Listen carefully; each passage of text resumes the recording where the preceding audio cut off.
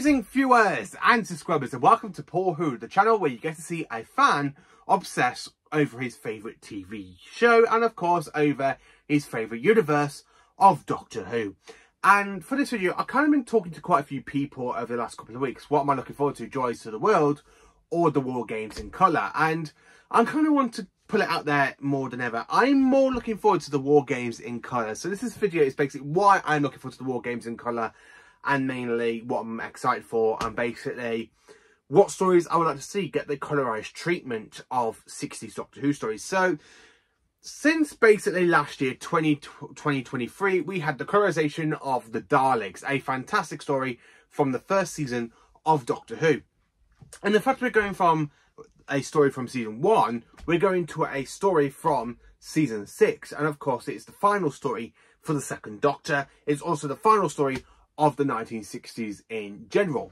Now, the one thing I want to talk about is why I'm looking forward to this being colorized. Why have I got big hopes for this one? So, I thought basically the Daleks would have been a one-off. I really did. And I did a video basically saying that I think the War Games is next. And that was around about March. And I'm glad I'm right. I'm glad that article I read was right that the War Games is next. And I kind of got a feeling we are definitely going to get more. So I think in 2025, we will be getting another colorization of a 60s Doctor Who story around about November, December time. So the fact I'm quite looking forward to the War Games in colour and I just cannot hold in my excitement because I absolutely loved it. Now, I love the Daleks in colour. I know some people hated it, some people hate the music that they used, that the fact it was over the voices of the Daleks, so you can't really hear what the Daleks are saying. But the thing is though, I've had basically a fantastic group of people saying to me, oh, I love the Daleks in Colour. The Daleks in Colour, it is a great way to introduce us to a 60 story for, for a brand new audience. Because I was talking to quite a few people at Comic Con over the weekend and they were like saying, oh, we can, we're in the middle of watching Jon Pertwee. And I went, oh, have you already watched William Hartnell and Petra And they're like, no, we skipped them. I'm like, why? Because we can't watch it in black and white. And I'm sorry, but we can't watch black and white. It's too it make it's too like different to TV nowadays. And even when you watch the 70s stuff, it's still different from TV nowadays. So I get where they're kind of coming from, but for me, being brought up with classic Who, being brought up with the 60s, 70s and 80s, it makes no difference to me. But to somebody that has basically watched it from Christopher Eccleston all the way up to Scatwa, and they're like going, yeah, we've got to go back, we've got to go back and watch classic Doctors. I can get where they're coming from. So the Daleks coming out in colour, it's one way for fans to go, I love this story, I want to see more. I really want to see more Dark Doctor Who stories in colour. And the Daleks worked. I really think the Daleks did work for that because I've done a review on it and give it such a good positive review and I basically watched it basically back on the 23rd of November when it was basically released on BBC Four last year. So I kind of watched it for its first anniversary of the Dark Spin in colour. And the fact that day is literally like, oh, the War Games is coming out. The War Games is coming out. Yay, we got the War Games. I'm actually quite looking forward to it. The War Games, to me, it is a good story. It is a good finale story. The thing is about the War Games, it does drag from mainly like little bits of part three up to part nine with the doctor Jamie Zoe basically getting captured, escaping, getting captured again, escaping and captured again and escaping and of course it all leads to the second doctor having to call the Time Lords for help because of the war chief who is also a Time Lord. So the story itself, it introduces us to the Time Lords for the first time. So the Doctor's name drop as a Time Lord is actually in this very first story, which is kind of fitting for it to be the last story of the 60s, and it's absolutely brilliant. Now, the fact that I asked a YouTuber, aka the conf the Confused Dial, or the Convention Dial, something like that, and I've seen his basically two works on two regenerations. He's done a regeneration from the second Doctor to the third Doctor, and of course he's done a regeneration from the sixth Doctor to the seventh Doctor. I kind of wish when they brought out season 24, they would have said, look, can we use your clips and add it into basically Tamina I would have loved to see that version added onto Tamina or if they ever get to release an animation of the Brink of Death from the Sixth Doctor Adventures, the Lost, sorry, the Sixth Doctor's Last Adventures. I would love to see that animated and basically going from animation into that scene, into that video, basically seeing the Sixth Doctor regenerate into seven would absolutely be absolutely perfect, I think. But I'm quite looking forward to the regeneration. Yes, it does kind of knock out the whole season 6B theory that's basically been going on since the 1985 story, aka the two doctors. But for me, I'm actually quite looking forward to it because one, we finally, after what, 55 years, we get to see the regeneration between the second and the third Doctor, considering that basically when the War Games finished filming, Jon Pertwee wasn't even cast to be the next Doctor, so Patrick Troughton's basically regeneration was kind of open closed which is something I'm like, yeah, you know what, I don't mind. I I love it because I really love the transition and the fact we are literally going from the war games and I kind of got a very strong feeling and I'm definitely thinking it's 100% right that the next collection box set is going to be season 7. Uh, I again, I could be 100% wrong on this one, but I kind of have a strange feeling season 7 might be the next one to come out in the collection range. I could be 100% right, I could be 100% wrong, but again, I'm not the only one. Another sci-fi guy thinks it's season 7, and I'm actually quite looking forward to it. If it is season 7, I'm hoping what they're going to do with it, because one story of it has already been released in Fantastic HD, which is basically the Spearhead from Space, which I did a video about. So I honestly think, yeah, season 7 might be next after basically we get the book, the colorization of the War Games. Now, the War Games itself, it is a very strong regeneration story. It's not as strong as like the Caves of Androzani or the Logopolis or... That's really it, really, for strong regeneration stories. It's just those two, Logopolis and the Caves of Androzani. The other regeneration stories are very, very hit and miss. I mean, the 10th Planet one's pretty good. I do quite enjoy the 10th Planet one. Mm, Planet of the Spiders is good as well. So yeah, I think after basically, so basically you got the 10th Planet, the War Games, Planet of the Spiders, Logopolis and the Caves of Androzani are strong, strong regeneration stories. And then when you get to like Time and the Rani, the TV movie, they, they kind of go, yeah, a little bit funny. I know some people hate them. I quite enjoy them. I like the regenerations themselves. Then, of course, you got where it goes back again with really, really strong with Partners in Crime. Not sorry, with um Bad Wolf and Parting of the Ways, absolutely brilliant. And then it goes off again a little bit in a strange, funny little conundrum with The End of Time, The, Time of the Doctor, Twice Upon a Time people didn't like, The Power of the Doctor when it went back up, and then the giggle just kind of went like that because of the whole bi-generation. I know some people hated the whole bi-generation thing. I personally didn't mind it. And I'm say that, but I, I don't really mind the whole bi-generation thing as long as it's just like a one-off, that is just like a one-off, and then when it comes to Gatwa leaving, we just see the effects we've been having since 2005, and up pops a new Doctor, and we get the fifth, the 16th Doctor. But the War Games itself is honestly a great story. I'm really looking forward to seeing it all colorized. I'm looking forward to seeing the war, the Warlords. I mean, the Warlords have been name dropped in Doctor Who quite a few times since the War Games, and like they were mentioned in Trial of a Time Lord which is like, oh, that's a nice callback to when they literally went to Theta Beta, uh, planet Thetis Beta, Sil's home planet, because the Doctor mentioned that they picked up from the Warlords. Where in my mind that the Time Lords kind of trapped the Warlords and the home planet on in some sort of time bubble.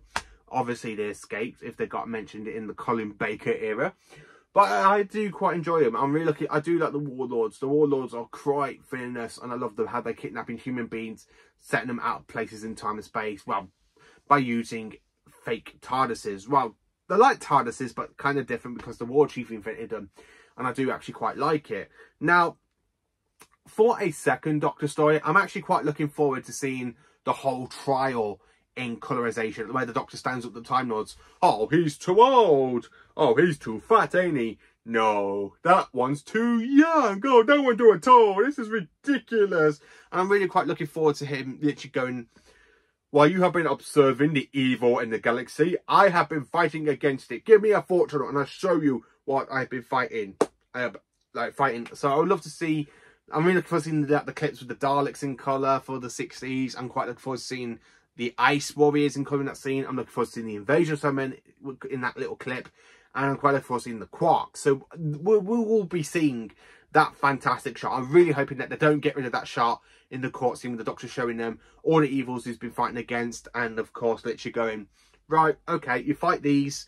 I'm really looking forward to seeing the Doctor say goodbye to Jamie and Zoe as well, because in the 60 story, they kind of get separated because of the whole, like, prison trap thing until Jamie and Zoe says, Look, we want to see the Doctor. You are very fond of him. Yes, we've been through a lot, I.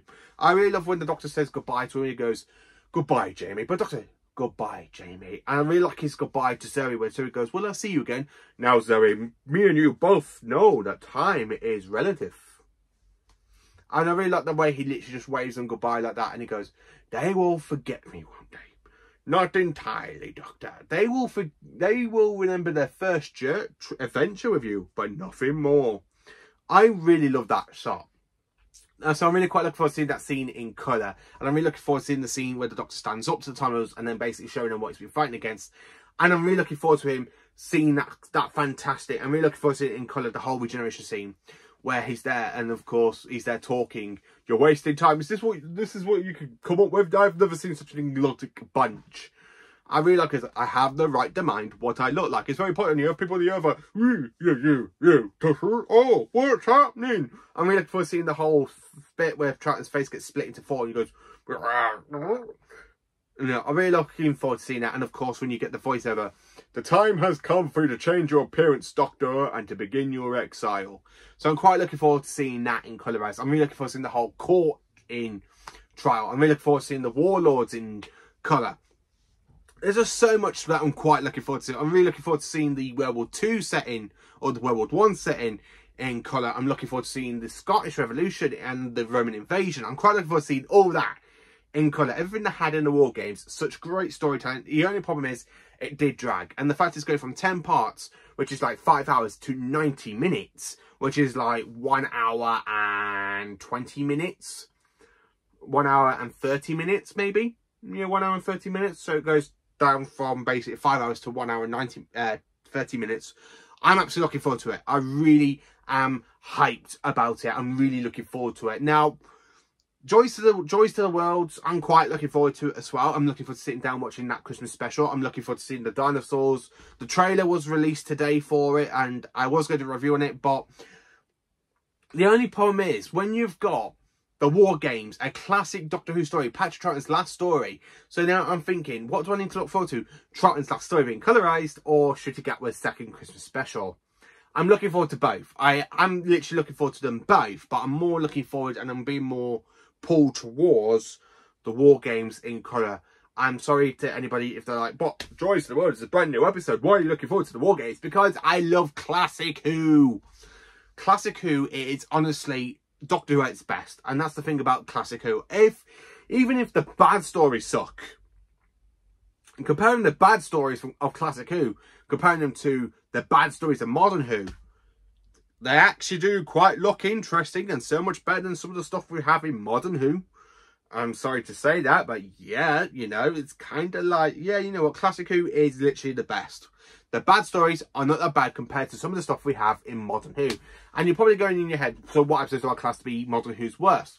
Which is basically Love and Monsters, Fear Her, then of course you've got the Lazarus Experiment, 42, the Dalek two-parter from Series 3, Oh my god, Idiots Lantern, New Earth. Then, of course, in Series 4, oh, I can't think of any bad episodes. But see, like, Let's Kill Hitler, The God Complex. You know, then, of course, you've got Closing Time. Then, of course, you've got other episodes. They really do suck. Kill the Moon, The Forest of the Night, or as some people call it, Forest of the Shite. You know, it's very, very yeah, but Classic Who doesn't really have stuff like that. Yeah, okay, I'm not too fond of the mutants. I'm not too fond of the Twin Dilemma. But it is so much better. I mean, I'm literally going to say something positive about the Twin Dilemma. I can rewatch the Twin Dilemma. And yeah, okay, it's still my least favourite because of some of the stuff that they got Colin to do, like attack Nicola Bryant, character Peri. But it's still better than some of the stuff we've had in Modern Who, like the whole romantic stuff between Ten and Rose. And yeah, that stuff. It's still better than some of the stuff we have in Modern Who, which is why I'm going to say that the Twin Dilemma is one of the best stories of Doctor Who compared to some of the stuff we've had in Modern Who. If I do a video talking about basically Kill the Moon versus the Twin Dilemma, the Twin Dilemma definitely wins it. It's not the strongest classic Who. I mean, it's not like a masterpiece, but it still beats Killed the Bloody Moon. Yeah, I just kind of wanted to get that out of the way. But I'm really looking forward to the War Games. The War Games, it is just a powerful story. I cannot flipping wait for it. I just can't get my excitement out for it. I really want the next three weeks to hurry up. I'm literally sitting here going, hurry up, hurry up, hurry up, hurry up. I want to see the War Games. I really want to see the War Games in colour. I'm literally like buzzing for it. I really am excited and more hyped for the War Games in colour. And I kind of want to talk about the stories I like to see colorized after the War Games as well. So I think we are definitely going to get more. I think 2025 we are going to get another Hartnell story. I think it'd be interesting if we can alternate between a Hartnell and a Troughton. So last year we had a Hartnell, so this year we get a Troughton.